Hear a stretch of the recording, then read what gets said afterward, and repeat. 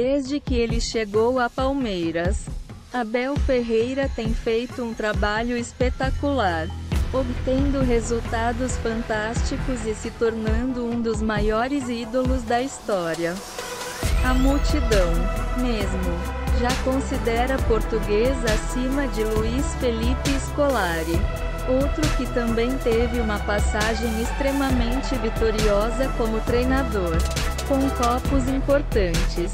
No entanto, todo esse brilho tem um custo. O gringo é constantemente acompanhado por equipes da Europa que fazem propostas para tirá-lo de Verdon. Até agora. Até agora. Mesmo com contatos do Dinamo Kiev, Ucrânia, Granada, Espanha, Bordeaux e Olympique de Marselha, França e Fenerbahçe, da Turquia. Nenhum deles conseguiu convencê-lo a mudar de ar.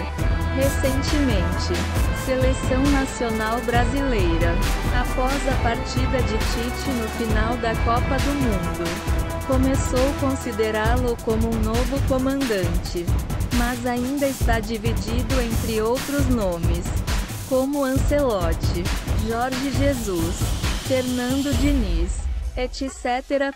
Palmeiras medo de que Abel deixe o clube, porque é uma peça importante para os títulos serem conquistados.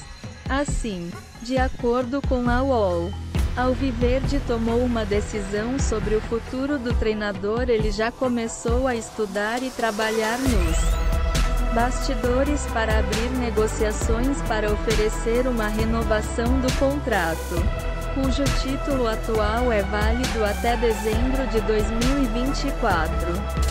Essa estratégia do Conselho Administração de Verdon está aprimorando ainda mais o treinador português especialmente com a forte possibilidade de ver pesquisas e ofertas da Europa no meio do ano.